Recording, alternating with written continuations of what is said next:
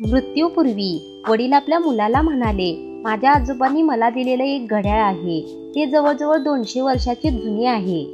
मी ते तुला देतो. तू दागिन्यांच्या दुकानात जा. त्यांना सांग की मला ही विकायची आहे. ते आपल्याला किती ऑफर देत आहेत ते पहा.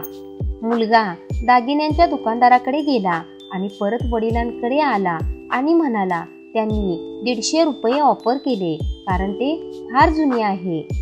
आता तू भंगाराच्या दुकानात जा. मुलगा भंगाराच्या दुकानात गेला आणि परत वडिलांकडे येऊन म्हणाला त्यांनी वीस रुपये ऑफर केले कारण ते खूप खराब झाले आहे. आता वडिलांनी मुलाला घड्याळ घेऊन संग्रहालयात जायला सांगितलं. तो मुलगा संग्रहालयात गेला आणि येताना आनंदाने घरी हसत आला.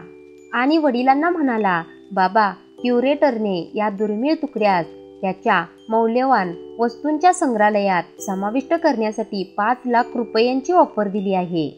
वडील शांतपणे स्मित हास्य करत म्हणाले मला तुला हेच सांगायचं होतं की योग्य ठिकाणीच तुमचं योग्य मूल्य आहे.